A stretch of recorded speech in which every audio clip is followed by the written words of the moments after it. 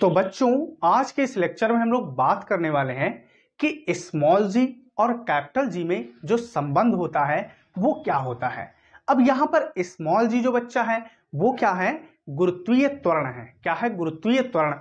जबकि capital G जो है, वो गुरुत्वाकर्षण बल नियतांक है। क्या है? गुरुत्वाकर्षण बल नियतांक है। अब आइए हम लोग इसे स्टार्ट करते हैं। तो बच्चा, ये जो संबंध होता है ये कुछ इस प्रकार निकल के आता है स्मॉल जी बराबर। ये आता है capital G M E upon R E square क्या आता है हमने कहा? ये संबंध आता है इस प्रकार से स्मॉल जी बराबर G M E upon R E square अब यहाँ आप देख रहे हैं, जैसा कि बच्चे, ये स्मॉल जी ये क्या होता है? ये आपका गुरुत्वीय त्वरण होता है। क्या होता है? स्मॉल जी गुरुत्वीय त्वरण होता है। जबकि आप देख रहे हैं, ये कैपिटल जी, ये क्या होता है? गुरुत्वाकर्षण बल नियतांक होता है। क्या बच्चा होता है? गुरुत्वाकर्षण बल नियतांक होता है। और उसके बाद में M E M for mass और ई फॉर अर्थ यानी कि हम कहेंगे मॉस ऑफ़ अर्थ तो अर्थ मतलब पृथ्वी और मॉस मीन्स द्रव्यमान, यानी कि एम ई क्या है बच्चा? पृथ्वी का द्रव्यमान। ऐसे ही आप देखेंगे R for radius E for earth यानी कि रेडियस ऑफ़ अर्थ ये क्या होता है बच्चा? पृथ्वी की त्रिज्या होती है। क्या होती है? पृथ्वी की त्रिज्या। अब दूसरी बात, हमें दो बातें और जाननी होंगी। वो बच्चा क्या? कि हम जैसा कि जानते हैं, गुरुत्वाकर्षण बल एफ़ बराबर क्या होता है? G M one M two upon R square अब यहाँ बच्चा, ये तो आप जानते ही होंगे। अगर नहीं जानते हैं तो समझ लीजिए। M1 और M2 क्या होते हैं? वो कण जिनके बीच ये बल अप्लाई होता है या लगता है। जबकि R क्या होती है? ये दोनों कणों, यानी कि M1 M2 कणों के मध्य या कहो बीच की दूरी, और G क्या होता है? गुरुत्वाकर्षण बल नियतांक, या कहो गुरुत्वाकर्षण नियतांक। आप जैसा कहना चाहो बच्चा।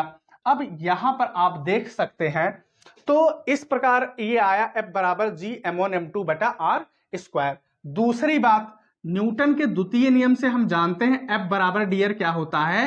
एम ए होता है। लेकिन अगर वस्तु किससे? गुरुत्वीय त्वरण स्मॉल जी से गिर रही है, या कहो कार्यरत है, या कहो उसमें जो गुरुत्वीय त्वरण है स्मॉल जी है वस्तु के लिए, तब बच्चा एफ़ बराबर क्या बनेगा? इस कंडीशन में क्या बनेगा? एम जी अब इसके बाद में डियर इस प्रकार हम क्या कहेंगे?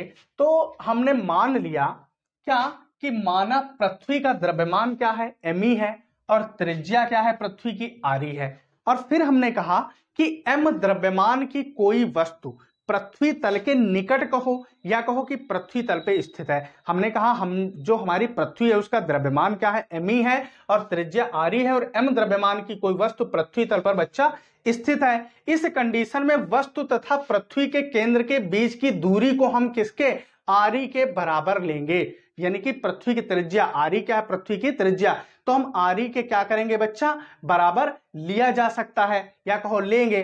तब हम कहेंगे, न्यूटन के गुरुत्वाकर्षण नियम से पृथ्वी द्वारा वस्तु पर लगाया गया गुरुत्वाकर्षण बल। न्यूटन के नियम से क्या? पृथ्वी द्वारा वस्तु पर लगाया गया गुरुत्वाकर्षण बल। तो जैसा कि हम जानते हैं, दो कणों के मध्य क्या या दो पिंडों के मध्य कहो? जो गुरुत्वाकर्षण बल लगता है वो m1 m2 बटा आर स्क्वायर होता है। तो m1 और m2 तो बच्चा यहाँ कौन है? एक तो पृथ्वी है। तो पृथ्वी का द्रव्यमान जैसा कि हमने m माना है, त्रिज्या आर मान रखी है। और वस्तु का द्रव्यमान स्मॉल एम तो बच्चा यहाँ कण कौन है? M1 का m ही काम करेगा और m2 का कौन काम करेगा? M करेगा। तो इस कंडीशन में ये गुरुत्वाकर्षण बल आप देखिए, F बराबर क्या बनेगा? तो G M1 M1 बच्चा पृथ्वी का द्रव्यमान काम करेगा तो Me और स्मॉल m, यानी कि M2 वस्तु का द्रव्यमान काम करेगा। और बटे लाल मेरा, आप देखेंगे, बटे में कौन हो जाएगा? पृथ्वी त्रिज्या आर स्क्वायर हमने कहा, ये समीकरण नंबर लाल मेरा क्या है? ये समीकरण नंबर एक है। अब चूँकि इसी बल के कारण वस्तु पृथ्वी की ओर गुरुत्वीय त्वरण जी से गिरती है, वस्तु इसी बल के कारण कहा?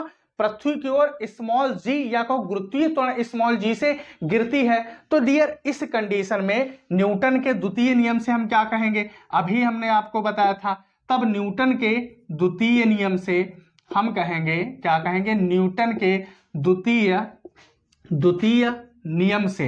तो न्यूटन के द्वितीय नियम से हमने कहा गुरुत्वीय त्वरण जी के या कोई स्मॉल जी के अंतर्गत गिरती है।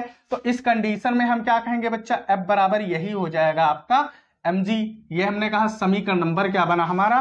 दो बना। समीकरण नंबर क्या बना? दो बना। अब हम क्या कहेंगे कि from from equation one and one and two यानी कि समीकरण एक और दो से। तो समीकरण एक और दो से अब बच्चा, ये दोनों के दोनों क्या है? बल है। तो ज़ाहिर सी बात है, ये क्या होंगे? दोनों के दोनों बराबर होंगे, क्योंकि आपने देखा था इसी बल से गिरी थी। तो पृथ्वी की ओर गुरुत्वीय त्वरण जी से। तो ये जब दोनों बल बराबर होंगे तो इस कंडीशन में हम क्या कहेंगे कि ये जो एम जी है, ये बराबर किसके होगा? G M E small M बटे डियर क्या होगा? आर ई स्क्वायर अब आप देखेंगे स्मॉल एम से स्मॉल एम क्या हुआ? मर गया। स्मॉल जी बराबर आप देखेंगे, बचा क्या? G M E upon dear मेरे का बचा आर ई स्क्वायर क्या बचा? जी एम ई बटा आर ई स्क्वायर यही तो आपको हमने शुरुआत में एक्सप्रेशन बताया था कि स्मॉल जी कैपिटल जी में संबंध क्या होता है? जी बराबर जी एम ई बटे आर ई स्क्वायर तो इस प्रकार हम क्या कह सकते हैं कि प्राप्त व्यंजक क्या लिख सकते हैं बच्चा? ये लिख सकते हैं अगर चाहो तो। आप लिख दीजिए कि प्राप्त व्यंजक ही क्या है? स्मॉल जी तथा कैपिटल जी में क्या है बच्चा मेरा? संबंध है। यानी कि प्राप्त व्यंजक ही स्मॉल जी तथा कैपिटल जी में संबंध है। अब इसके बाद में कुछ हम लोग और आगे व्यंजक निकालेंगे। तो उसमें इसमें का जो है जीएमई का मान प्रयोग होता है। तो अगर जीएमई का मान आप निकालना चाहते हैं जीएमई के आ, हम कहेंगे टर्म्स में लिखना चाहते हो समीकरण को तो इसे हम इस प्रकार भी डीएल लिख सकते हैं। आप देख रहे हैं यही तो व्यंजक हमने यहाँ पर लिख रखा है। इसका अगर हम बटा एक लिखें तो आप देखिए कहीं गुणा कराओ तो जी एम ई क्या हो जाएगा भाई? जी एम ई एक्न जी एम ई बराबर DR क्या हो जाएगा? जी आर ई स्क्वायर तो अगर हम इसको इस प्रकार लिखना चाहें तो इस प्रकार भी लिख सकते हैं। ये आप ध्यान रखना, आगे हम लोग जो एक्सप्रेशन करते हैं, उनमें ये लाल मेरा क्या होता है? काम आता है। तो ये आपको ध्यान रखना है। तो बच्चों, हम आशा करते हैं कि हमारा वीडियो आपको पसंद आया होगा। अगर हमारा वीडियो आपको पसंद आया तो वीडियो को लाइक करिए, शेयर करिए, और अगर अभी तक आपने हमारे चैनल को सब्सक्राइब नहीं किया है तो चैनल को सब्सक्राइब करिए। आज के इस लेक्चर में बस इतना ही। मिलते हैं अगले लेक्चर में। धन्यवाद।